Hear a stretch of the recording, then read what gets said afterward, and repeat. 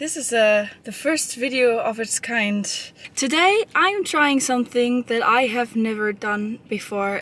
To use basically this, you know, green screen effect technology for making my hurdy-gurdy play by itself. Magically. This is my camera guy Ollie.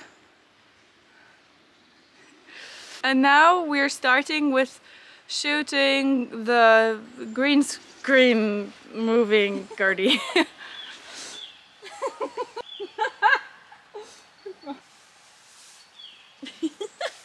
so these are my invisible hands. so müsste ich das dann machen, Ja. Soll ich einfach mal so? Ja, kannst du probieren, deine Finger noch, die schwarzen Finger noch so ein bisschen zu verstecken? Ja. So? Ja.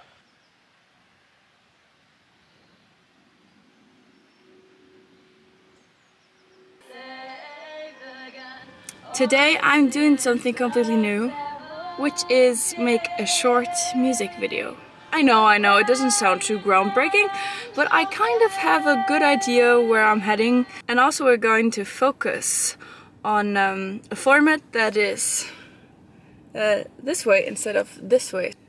As an artist, I'm always interested in using the new media to get my messages across. And uh, I can do it just as well with a portrait mode than I can do it with the normal widescreen.